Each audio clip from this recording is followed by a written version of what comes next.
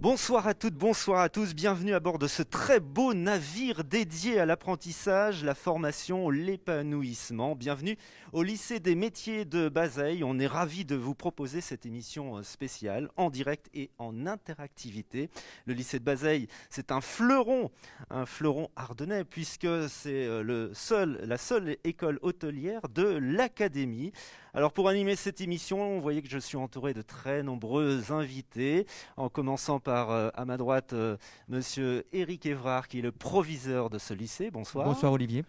Benoît Delalin.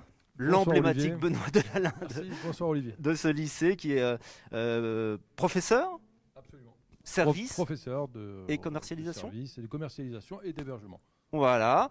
Ensuite, on aura des témoignages. Alors, ce sera sur la table voisine, en commençant euh, par euh, deux témoignages d'anciens euh, élèves qui ont fréquenté l'établissement. Il y aura tout d'abord Benjamin Soyer. Il y aura également Florian Lejeune que vous voyez à l'image. Et puis, un petit nouveau là-bas. Vous le connaissez Mais oui, mais oui, tout le monde le connaît dans les Ardennes et même en dans la France entière. C'est Gracien Leroy qui nous fait l'amabilité d'être là ce soir. Donc euh, restez bien avec nous, on aura aussi euh, son intervention tout à l'heure. Et puis euh, à ma droite, juste derrière, il y a encore un, invité de marque avec eh bien, David Lamar, qui est le directeur général de l'Office de tourisme Charleville-Mézières-Sedan et directeur de l'Agence de développement touristique des Ardennes. Voilà un beau menu pour ce soir. Alors c'est pas euh, tout à fait complet dans la présentation, puisque regardez en fond là-bas de, salle et tu vas faire un, un travelling, tu vas aller les voir, euh, ces jeunes euh, à l'œuvre qui officient ici ce soir. Ils sont en deuxième année de BTS et ma chère. Option restauration et en terminal bac pro restauration, ils sont en train de nous concocter des bonnes petites choses à l'image. Restez avec nous, partagez ce live avec euh, vos amis. Il suffit de cliquer sur l'onglet en bas à gauche de votre smartphone, partager. Et puis, eh bien, on va parler de ce fleuron ardennais, je le disais dans, l'introduction, avec euh, vos questions aussi à la clé. N'hésitez pas dans les commentaires, puisque les visites virtuelles euh, auront lieu ce vendredi après-midi, ce samedi matin, ici au lycée des métiers de, de Bazeille. On va parler de gastronomie, de bonne bouffe, et puis de la convivialité, puis de, de ce N'ayons pas peur des mots, c'est immense, monsieur Évrard, comme, euh, comme lycée, euh, puisque je crois qu'il y a plus de... Alors, on était à combien d'élèves J'avais noté? 550 élèves. euh, 550 élèves. approximativement. Avec euh, effectivement des, des élèves qui suivent une formation euh, en baccalauréat professionnel et en baccalauréat technologique. Donc c'est ce qui nous différencie et ce qui fait que nous soyons la seule euh, école hôtelière de Champagne-Ardenne. Euh, voilà, des formations euh, orientées vers les métiers de l'hôtellerie-restauration, du tourisme, mais également depuis cette année, l'établissement a ouvert un, BTS diététique, donc voilà, qui fait la richesse de nos formations et comme vous l'avez dit, euh, du fleuron, euh, nous l'espérons et nous faisons euh, tout au quotidien pour euh, qu'il le reste et qu'il rayonne sur, euh, sur le département. Et ce rayonnement d'ailleurs dépasse largement la région Champagne-Ardenne, hein, puisqu'il est connu à, l'international, en Belgique. Il y a beaucoup d'élèves qui travaillent aussi en Belgique. Vous travaillez à l'international. Il y a beaucoup de stages euh, à l'étranger. Donc, si vous avez des questions sur les, les- formations, les métiers qu'on va évoquer ce soir, c'est le moment de les poser dans ce live. N'hésitez pas dans les commentaires si vous avez le souhait eh d'embrasser une carrière dans ce domaine. N'hésitez pas. Tous les professionnels sont là ce soir euh, pour euh, répondre euh, à vos questions. Alors, vous avez la lourde tâche d'animer, de donner le cap et de piloter ce navire. Eric, c'est un lycée qui se décline en, quatre axes, on peut dire ça comme ça hôtellerie, restauration, diététique, tourisme. C'est un vaste programme. Alors, tout à fait. Alors, différents niveaux pour différents publics, avec euh, un seul objectif, c'est euh, euh, élever euh, les compétences et les connaissances de, tous nos élèves et les amener à l'excellence. Voilà, l'excellence à la française, la gastronomie à la française.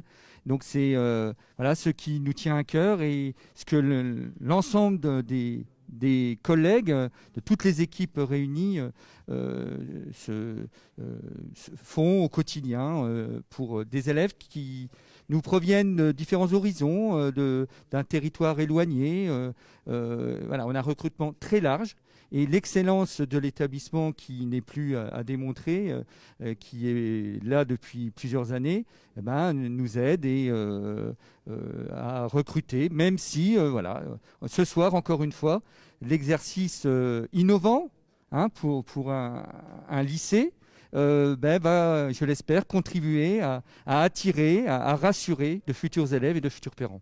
Alors, on va parler de ces formations, évidemment, euh, dans ces portes ouvertes.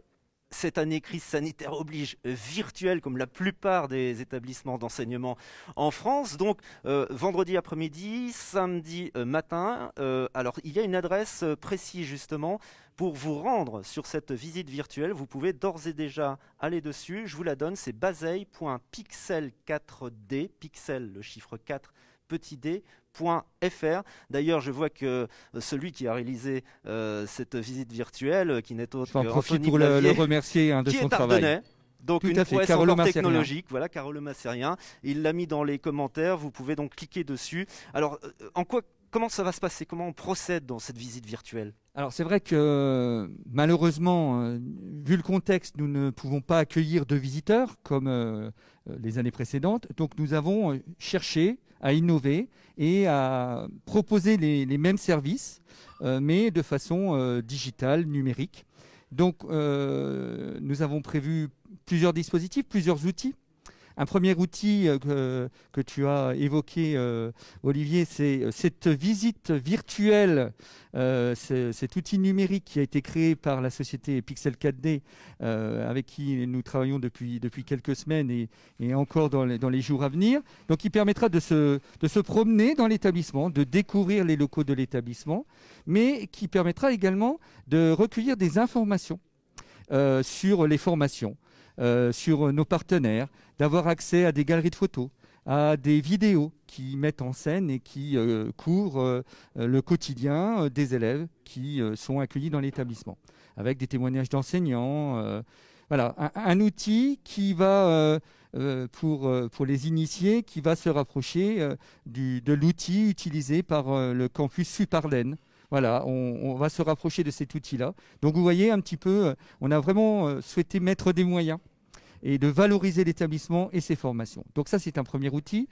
Et en parallèle, pour euh, maintenir le lien et pouvoir répondre en direct à, nos futurs élèves, à, leurs parents, nous avons mis en place des, salons virtuels.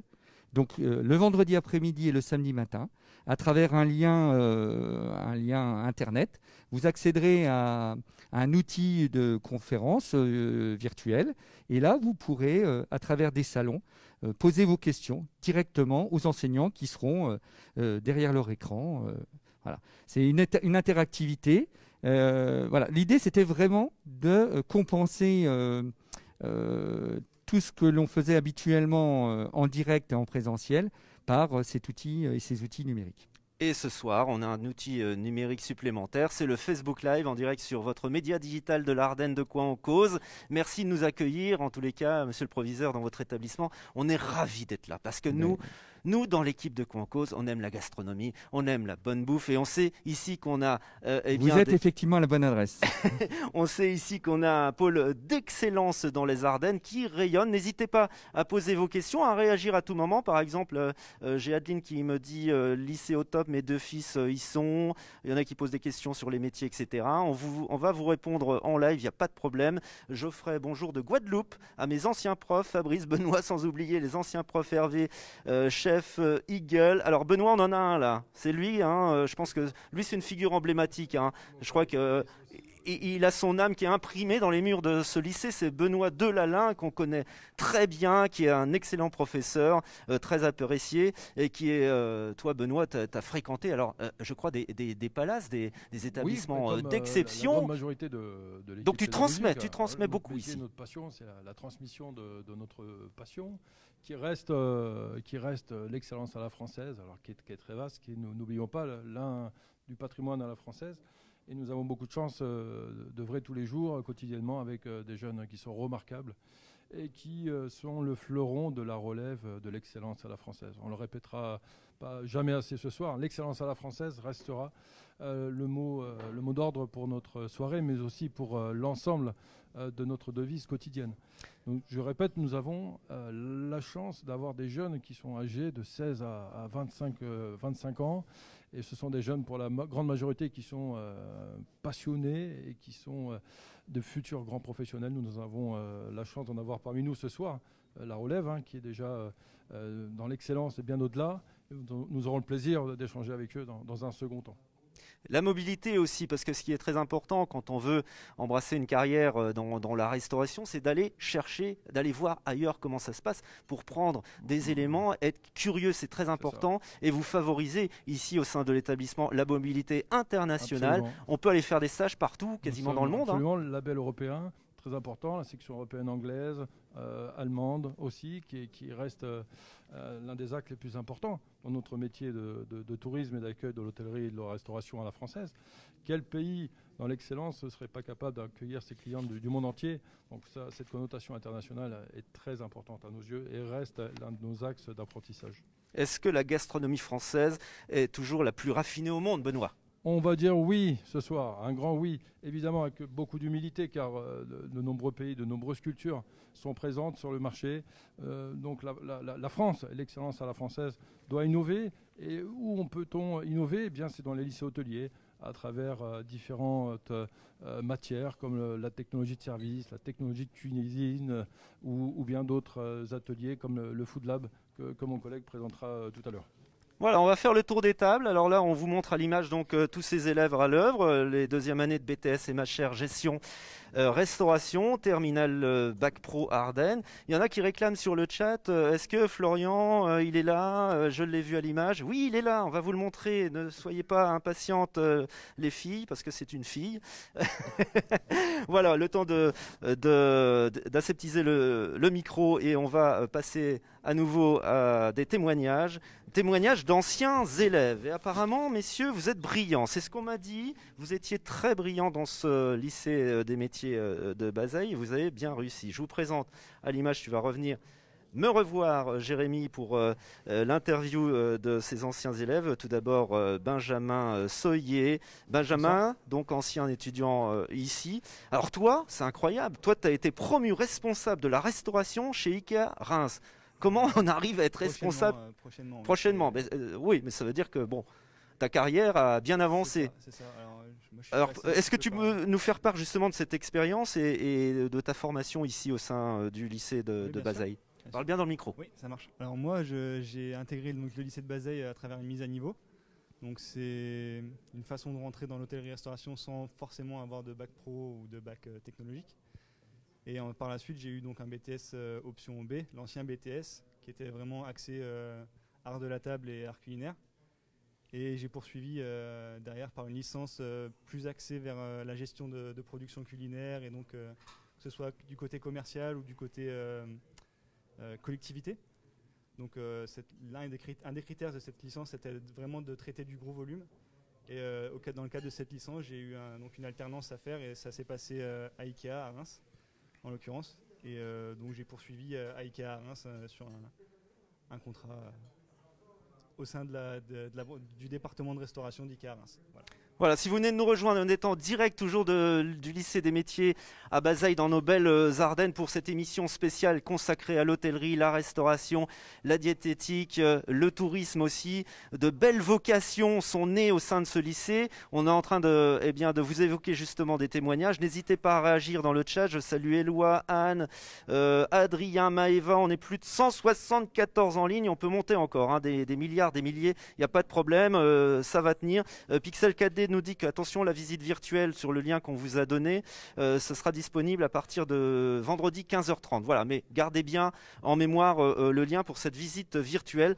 Contactez-nous aussi pour nous demander eh bien, des informations à travers ce chat, commentez, posez vos questions. C'est l'émission complètement interactive ce soir. Alors, on est avec Benjamin et Florian pour des témoignages d'anciens élèves. Ben, Florian, Pardon, Benjamin, euh, quel conseil tu pourrais euh, euh, donner à un jeune qui voudrait travailler, s'investir dans, le secteur de la restauration Alors tout d'abord, il faut savoir que c'est un métier qui est quand même de passion.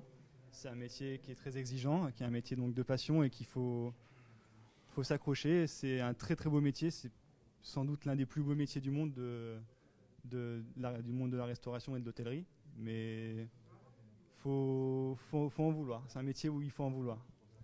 Beaucoup de rigueur. Beaucoup de rigueur, beaucoup de, de connaissances, et pour viser l'excellence, il faut, faut vraiment être, euh, être totalement euh, Investi. pas- passionné et investi Ouais. dans, dans ce métier.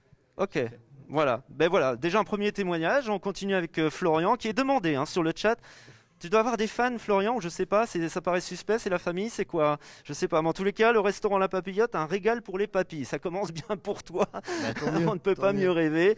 Et c'est vrai que toi, tu es aussi un ancien élève de, du lycée des métiers de, de Bazeille et tu es propriétaire maintenant euh, du restaurant La Papillote, très très connu euh, sur Charleville, restaurant gastronomique. Euh, alors c'est quand même assez incroyable. Comment T'as quel âge? J'ai 28 ans. comment à 28 ans on se dit tiens je vais reprendre un restaurant et pas n'importe quel que- restaurant, la papillote. Bah, je dirais, euh, au final, je suis quelqu'un de normal. hein. C'est juste que c'est ma passion, c'est mon envie, c'est euh, voilà, c'est plus qu'un métier comme on dit. hein. Une vocation C'est une vocation, Ouais. c'est une passion et euh, quitte à le faire, bah, autant le faire pour soi-même et faire partager parce qu'une cuisine c'est avant tout des plats, une façon de travailler. Et euh, moi je dirais que chacun a sa cuisine chacun sa cuisine euh, donne ce qu'il a envie de donner dans sa cuisine. Et euh, moi, j'avais envie de donner aux gens ce que moi, j'avais envie de donner. Quoi. Donc, je me suis dit, c'est le seul moyen. Et voilà. Et voilà, tu regardes pas du tout. Je Cette aventure. Je regrette pas du tout. Voilà. Est-ce que tu peux euh, nous décrire euh, en quoi consistent euh, les métiers de la restauration à la fois côté cuisine et côté salle En quelques mots? En quoi ça consiste Euh, Avant tout, le plaisir? Le plaisir d'offrir, le plaisir de donner du plaisir et euh, le partage. C'est- Moi, comme je dis à mon équipe et euh, comme je vois la chose dans mon restaurant, on est une famille. Dans la restauration, on, a- on entend toujours parler des horaires compliqués. euh, c'est compliqué la restauration. Mais non, c'est pas compliqué parce qu'en fait, on est avec notre famille.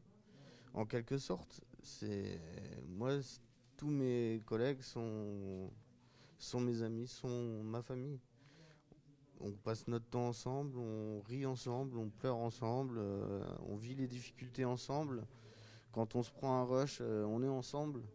Et si on se tient pas la main, si on n'a pas le- l'envie de le faire de ensemble, c'est vous à l'échec. Et c'est ce qui fait qu'aujourd'hui, euh, je pense peut-être que euh, moi j'en suis là. Alors, on, euh, on sent beaucoup d'émotion hein, dans, dans ce que tu dis. Euh, effectivement, avec son équipe, on traverse les joies et euh, les, les difficultés. Et Dieu sait qu'en ce moment, quand on est restaurateur, on est euh, contraint à une certaine difficulté puisque tu es fermé depuis le 28 octobre. Crise sanitaire euh, oblige. Euh, Est-ce que tu peux nous faire un petit point déjà d'étape aujourd'hui? Comment tu vis ça?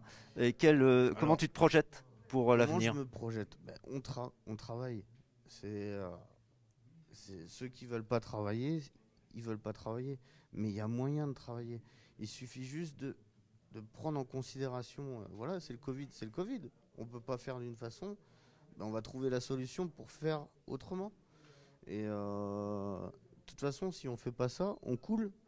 Et tous nos employés, tous ceux qu'on considère comme notre deuxième famille, cool. Donc euh, c'est l'objectif, le, but, de savoir de, rebondir et de trouver les astuces pour faire que s'adapter en, attendant la réouverture qui va arriver ça, de toute façon un moment Bien ou sûr, un autre. Et on a hâte d'aller plaisir. déguster euh, ta cuisine et, et tous ceux qui regardent en tous les cas te, te félicitent, ils sont fiers de toi, euh, fiers de ce que tu fais. Euh, franchement merci euh, de nous regarder, merci de vos témoignages et euh, de vos petits pouces et vos petits cœurs que vous envoyez à ces anciens élèves euh, qui sont dans la voie royale de la réussite. Donc on va continuer avec euh, quelqu'un qui a réussi quelque chose. Regardez, il est à l'image. Euh, vous le connaissez, cette figure, euh, malgré le masque, vous l'avez euh, reconnu euh, facilement. Il s'agit bien sûr de Gracien Leroy, qu'on ne présente plus, ou si, peut-être un petit peu, tellement tu hein. es connu maintenant. Euh, objectif Top Chef, tu l'as gagné en 2019, puis tu as intégré la, la brigade de, Michel, de, de Philippe Etchebest euh, dans Top. Chef. Bon, il est dur, Philippe. Non, il est adorable. il est adorable. Non, non, il, il est pas dur. On peut pas dire qu'il soit dur. C'est, euh, on, parlait tout à l'heure de rigueur dans la cuisine. euh, je pense qu'il l'a. Le, col bleu, blanc, rouge en témoigne. Après, euh, c'est quelqu'un qui a soif de transmettre ce qu'il aime, sa passion. Et, voilà, quand on, aime, on aime transmettre, on aime partager. Florian le disait, le disait très bien. C'est que la cuisine, c'est une émotion, c'est un partage, et avoir envie de faire plaisir. Et voilà. Il a une rigueur, c'est voilà, il paraît peut-être un peu bourru, mais c'est quelqu'un de bien. Ce qui est euh, déjà une prouesse euh, euh, pour toi, c'est qu'en tant qu'amateur, tu as réussi euh, à intégrer Top Chef. Tu étais ouais. le seul d'ailleurs sur cette saison à avoir intégré Top Chef. En tant qu'amateur, oui, oui, c'était une première. Bon, voilà, après, moi, j'ai toujours été passionné de cuisine. Ça fait quelques années que j'ai envie de- d'en faire mon métier. Et puis, ça a été un petit peu, on va dire que ça a été un petit peu un tournant, quoi. Ça a été le pied à l'étrier, on va dire. Beaucoup, beaucoup de témoignages, beaucoup de, de réactions sur le chat. Euh, alors j'en prends une euh, au hasard. Emilien Marco, par exemple. Les Français s'approprient de plus en plus la bière. Les brasseurs français sont de plus en plus inventifs. Les accords euh, mets et bière sont-ils à l'ordre du jour dans la formation des étudiants du secteur de la restauration? On demandera ça tout à l'heure Ah, euh, à, spécialistes. à- à Benoît. Euh, je salue Samantha, euh, je salue eh bien tous ceux qui nous rejoignent, qui commandent, qui nous envoient des pouces. Merci de nous suivre. On est en direct du lycée des métiers de, de Bazeille en l'occurrence, la Gracien euh, Leroy. Euh, comment on passe de la comptabilité à la cuisine? Moi, ça m'a toujours intrigué. Ouais, ça intrigue beaucoup de monde. Beaucoup de monde ont un peu de mal à comprendre pourquoi. euh, bah, je vais reprendre les propos de Florian où, les gens disent bah c'est un métier compliqué. euh, c'est un métier compliqué quand on n'aime pas. Euh, à partir du moment où on a envie de, faire les choses bien euh, et avec l'amour et la passion du métier, on arrive à faire de belles choses. J'ai pris une décision, c'est-à-dire de, bah, de retourner à l'école à 30 ans. C'est pas forcément, pas forcément facile, mais euh, j'ai été bien reçu euh, par Monsieur Évrard et, euh, et ses équipes. Oui, parce que la raison dont- de ta présence ce soir, c'est que tu suis en ce moment une formation en bac professionnel cuisine par le biais du Greta au sein de ce lycée. C'est ça, Hein, c'est ça. Avec le Greta et, et Monsieur Evrard, on s'est, on s'est rencontrés fin août. voilà, la situation sanitaire fait que ben, c'est compliqué de, de trouver un poste euh, fixe comme ça, sans, sans bagage, sans rien. Donc voilà, j'ai, pris ce revirement-là. Aujourd'hui, euh, je fais un bac professionnel au sein du lycée, mais je fais également des cours de mention complémentaires. Euh, que ce soit pâtisserie ou traiteur, vraiment c'est un emploi du temps un peu à la carte euh, qui a été fait sur mesure et euh, grâce aux équipes du lycée, c'est ce qui est proposé. C'est pas non seulement pour moi, c'est ce qui est possible pour plein de gens. Et, euh, voilà, j'apprends, énormément. Les gens peuvent se dire on n'a pas besoin d'eux, mais si. C'est important d'avoir un bagage et, euh, et je suis très fier d'être là aujourd'hui et de, et de suivre ces cours. Qu'est-ce que tu pourrais dire à des élèves qui hésiteraient euh, encore à s'engager dans une formation en hôtellerie-restauration Bah, je vais prendre mon exemple, c'est-à-dire que ben, moi, euh, on m'a orienté vers une filière générale. On m'a orienté vers une filière euh, générale. Et du coup, euh, je continue? Ouais. Et du coup, euh, je j'ai un blanc.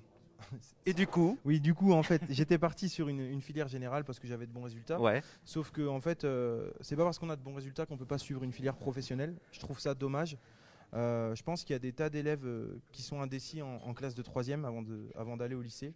Et, euh, et je pense qu'on communique peut-être pas assez sur, sur toutes ces filières. Et, euh, et c'est important parce que bah, le pro, euh, c'est un métier. On apprend un métier. On est direct dans le bain.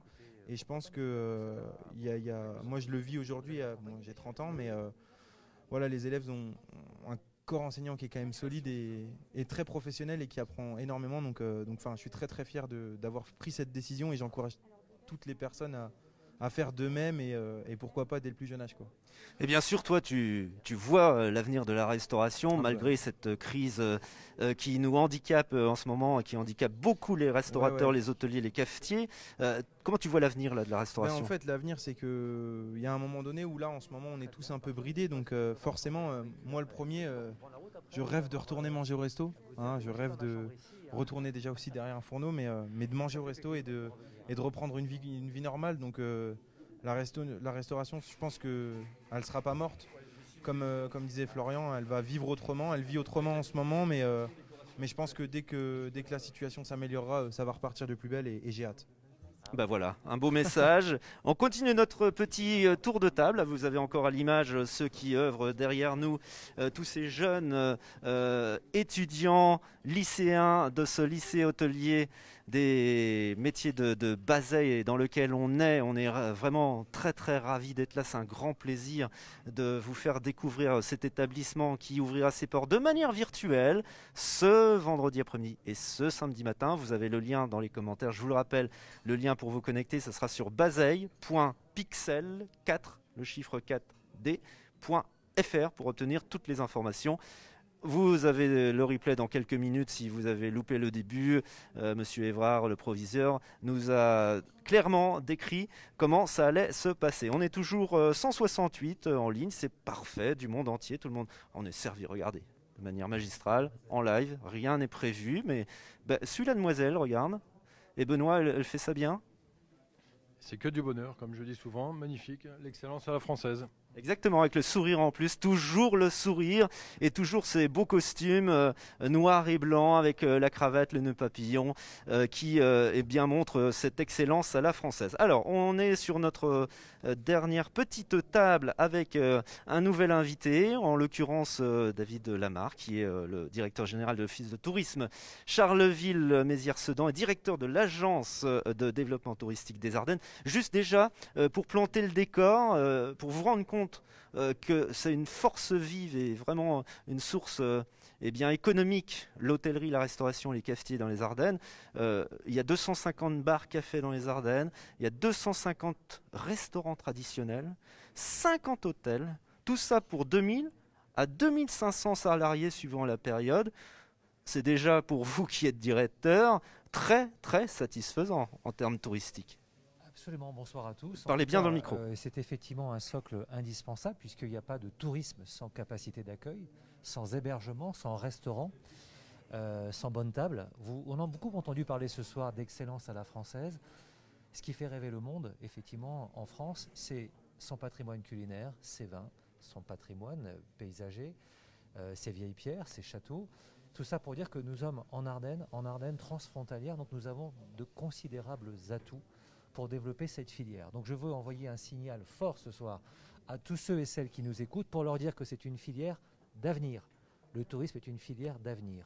C'est 8% du PIB aujourd'hui en France, Ce d'accord qui est énorme. c'est plus que l'agroalimentaire, c'est plus que euh, effectivement tout ce qui touche à l'aéronautique. Donc c'est un pilier de l'économie touristique. On s'en est peut-être rendu compte tout récemment quand on a vu le nombre de restaurants fermés et les incidences sur l'économie touristique et l'économie au sens large. Ce qu'il faut savoir, c'est qu'aujourd'hui dans les Ardennes et en Ardennes transfrontalières, nous sommes en pleine croissance. 40% de nuitées en plus en 5 ans. On est, tout, proche d'un million de nuitées là, sur fin 2019. Pourquoi? Parce que l'offre commence à monter en gamme. On commence à avoir de nouvelles implantations, de nouveaux hébergements, des restaurants, on a entendu parler, des restaurateurs qui viennent, qui s'installent, qui créent de la valeur ajoutée et qui répondent aux attentes d'une clientèle de proximité. Nous avons la chance de les avoir à proximité immé- immédiate. Les Belges, les Flamands, les Néerlandais, les Allemands, les Anglais sont à 2h30, 3h. Qu'est-ce qu'ils attendent en Ardennes De trouver de superbes maisons, de bonnes tables?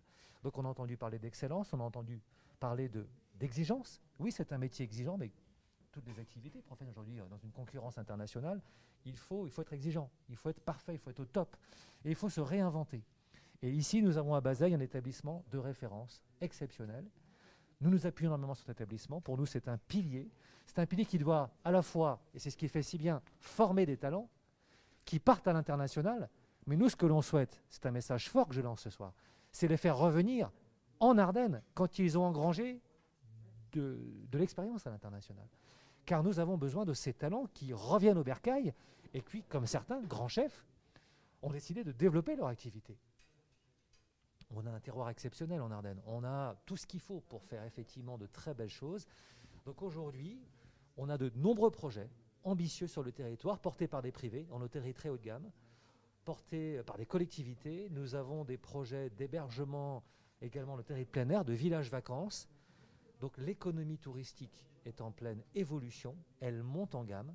Et donc il nous faut aujourd'hui aussi des restaurateurs qui soient à la hauteur de ces futurs clients qui vont débarquer, qui vont arriver en 4 ou 5 étoiles.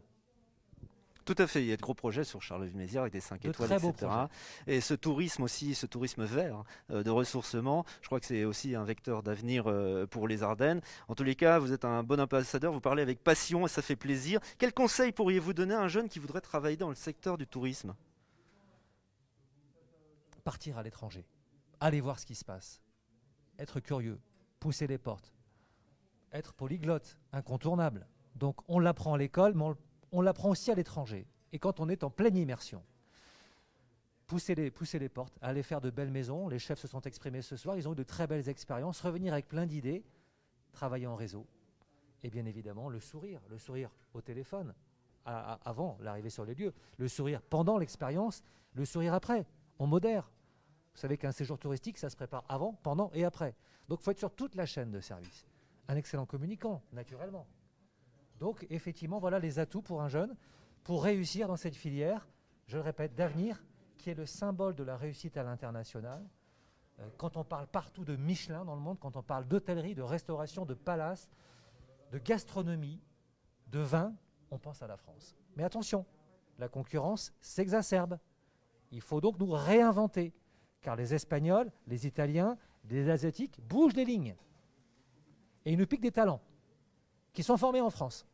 Donc il faut qu'on soit toujours leader. Je le répète, nous sommes la première destination touristique au monde, mais pas la première en termes de dépenses économiques. Ça veut dire qu'il faut qu'on qu'on fasse rester les gens plus longtemps en France. Les champions des retombées économiques sont les Américains. Parce que on fait du séjour long aux États-Unis quand on se déplace. En France, on a tout pour les fixer. Donc en Ardennes, aujourd'hui, on est à 1,5 jours en moyenne de séjour. Il faut qu'on progresse. Il faut que les gens ne traversent pas que les Ardennes. Il faut qu'ils restent en séjour. Donc il faut des pépites pour agrémenter un séjour. Donc toujours, et on va conclure avec euh, euh, Eric Évrard, qui est le proviseur de ce magnifique euh, navire dans lequel eh bien, on, évolue euh, ce soir, on sillonne euh, un petit peu les allées et, tout ce qu'on voit à l'image avec ces jeunes euh, qui ne préparent euh, euh, des bonnes choses en démonstration euh, derrière nous. Euh, Jérémy, il est là. Voilà. Alors on va conclure avec euh, euh, Eric Évrard, euh, on parlait de leadership.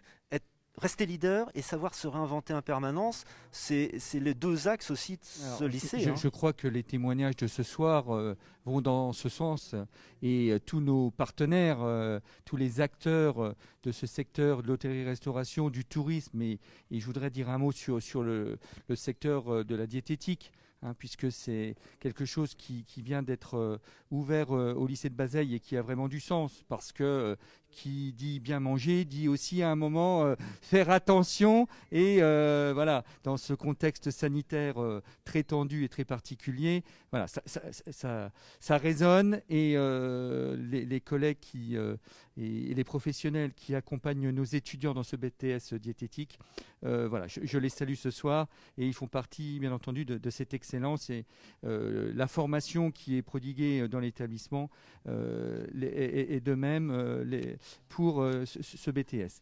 Donc euh, voilà, euh, des témoignages qui font apparaître la qualité de la formation dans cet établissement, la richesse des partenariats. puisque l'établissement et une formation sans l'accompagnement proposé par des professionnels, ça n'aurait pas grand sens. On a euh, Monsieur Lamar qui euh, voilà évoque euh, l'engagement et le, développement du tourisme dans le département qui passe par une formation exigeante et de qualité. C'est ce qu'on s'efforce de faire au quotidien dans ce bel établissement. Voilà. Donc nous sommes voilà, je, m'associe à mes collègues des passionnés. Et euh, je suis depuis peu dans cet établissement, mais euh, la fièvre euh, m'a gagné et suis vraiment découvert des, des collègues et toutes les équipes qui ont une vraie passion et un vrai engagement pour les élèves que nous accueillons, pour l'ensemble de la communauté, euh, des partenaires aussi euh, euh, qui nous aident et qui nous accompagnent dans le financement de nos projets, dans l'entretien des locaux, parce que un bel établissement, mais qui voilà, qui, vit et qui à un moment s'use aussi. Donc voilà, je, euh, je remercie aussi euh, la- région Grand Est qui nous accompagne au quotidien euh, financièrement, mais pas que, hein, dans un aspect de- d'en- d'entretien et de- de, d'accompagnement euh, dans nos dispositifs et dans nos actions. Un, un soutien aussi à, tous les acteurs et tous les professionnels euh, de la restauration qui aujourd'hui sont en grande souffrance, on l'entend bien, et on partage euh, et euh, on est de tout corps avec eux et on, les, on les soutient pleinement. Et ça a été dit aussi ce soir, on, espère, et nous n'avons aucun doute que lorsque les restaurants vont rouvrir leurs portes, nous serons les premiers euh, à, y euh, déjeuner, dîner, euh, avec un grand plaisir. Donc voilà, un bel établissement, mais c'est le travail des équipes, de l'ensemble des équipes, des personnels administratifs, des personnels d'entretien, des enseignants. Voilà, ça se fait pas tout seul. Ce partenariat qui est fort, et ça, je remercie tous les enseignants qui entretiennent ces liens. Hein, les anciens élèves, mais euh, qui euh, ont ces contacts et qui euh, font appel à eux lors de nos différentes actions, manifestations, événements, concours. Un, mot d'encouragement aussi pour nos élèves, parce que le contexte est difficile pour eux. Nous avons fait le choix de maintenir nos exigences au niveau de la formation. Euh, nous les formons aux, diplômes, aux différents diplômes qu'ils préparent, bien entendu, mais avec euh, ce manque qui est le, contact avec euh, le terrain, les restaurants, les structures à travers les stages. Donc voilà, moi je, les félicite pour leur, leur engagement malgré les difficultés, bien entendu. Donc voilà, c'est un travail d'équipe. Et euh, c'est comme ça, je pense, euh, que l'on amène à la réussite et à l'excellence euh, les, futures forces vives de l'hôtellerie, restauration, tourisme et diététique de ce département, de cette région. Et, allez, soyons fous de, ce beau pays qui est la France. Exactement. J'espère qu'on vous a donné l'envie, en tous les cas, de faire ces visites virtuelles à partir de vendredi après-midi et samedi matin sur le lien que je vous redonne, bazeille.pixel4 en chiffres, d.fr, bazeille.pixel4d.fr. Vous saurez tout, vous pourrez visiter l'établissement, entrer en interaction avec les professionnels. En tous les cas, ce soir, on a eu un beau panel d'artistes ici à travers euh, ces euh, manches debout. euh, euh, merci de vos témoignages, merci de votre passion, votre motivation. Euh, Gracien qui signe euh, le livre d'or, voyez, on en est là euh, ce soir aussi, Gracien, qui, a, qui a intégré aussi le lycée hôtelier pour se former, continuer à se former, parce qu'on apprend toujours. Donc, portes euh, ouvertes virtuelles ce samedi après-midi. Venez donc en savoir plus, euh, vous immerger dans les métiers de l'hôtellerie, la restauration, diététique, tourisme. C'est la seule école hôtelière de l'académie. Elle est dans nos Ardennes, à Bazeille. Et puis, comme on ne les a pas entendus, mais ils ont œuvré en coulisses toute cette soirée derrière nous, vous savez quoi, on va se terminer en les applaudissant, tous ces élèves, parce que c'est l'avenir de la France. Merci de nous avoir suivis. Dans quelques instants, le replay, vous pourrez euh, euh, regarder. euh, autant de fois que vous voulez à votre guise tout ce qui s'est dit dans cette belle émission. Merci, ciao, à bientôt.